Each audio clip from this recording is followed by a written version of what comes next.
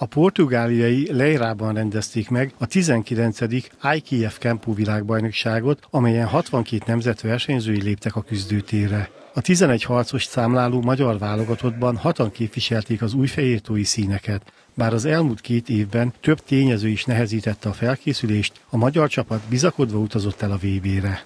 Nagyon kemény felkészülés előzte meg a, a, a útindításokat, és hát reménykedtünk, hogy legalább egy-egy érmet fog szerezni mindenki, nagyon erős a mezőny, de nagyon jó sikerült a felkészülés, nagyon sokat készültünk, nagyon sokat edzettünk, hétvégén is jöttünk edzeni a válogatott kerettel, sőt a budapesti nagymesterek is lejöttek, a Magyar Campus Szövetség elnöke Lac Ádám is többször adott itt nekünk edzést a válogatott keretnek, úgyhogy nyugodtan mentünk el, mert tudtuk, hogy mi csak a legjobbat tudjuk kihozni magunkból, mert felkészültünk. Szabó Tibor Benevek nyakába öt érem került. Egy arany mellett egy ezüstöt és három bronzot szerzett az újfehértói versenyző. A világbajnoki cím az Szemikempóban született, mínusz 90 kg-ban.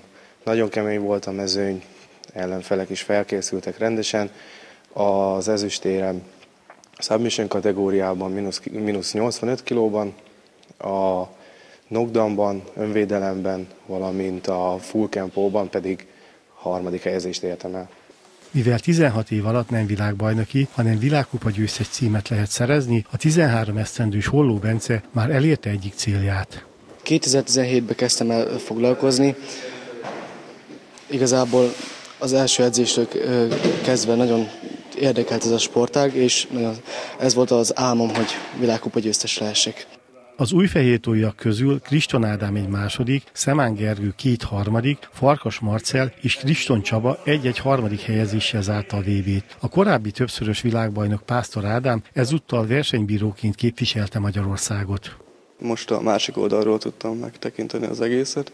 Nyilván ugye az edzősködést is csináltam a bíráskodás mellett. Három nap versenyeztek, ugye a srácok, én két nap bíráskodtam, egy nap edzősködtem, próbáltam azért ott lenni, meg lelket önteni mindenkivel, akivel kell, de jó volt, nekem nagyon tetszett a bíráskodás része is, próbáltunk igazságosak lenni a bíró kollégákkal is, rengetegen voltak a versenyzők reggeltől estig, csináltuk a dolgainkat, de a srácok azok ügyesek voltak.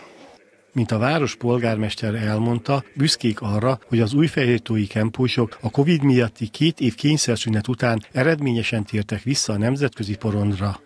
Nagyon büszkék vagyunk a fiúkra, meglátszott annak az eredménye, hogy itt Újfehértón az Egyesület tagjai tudtak a Covid ideje alatt is készülni, biztosítottuk nekik a lehetőséget és a feltételeket, hogy ne essenek ki a, a ritmusból és a, gyakor, és a gyakorlásból. Ez meg is látszott most a portugáliai világbajnokságon, hisz nagyon jól szerepeltek a srácok, és nagy, nagy büszkeséggel tölti el a város szerintem minden lakóját.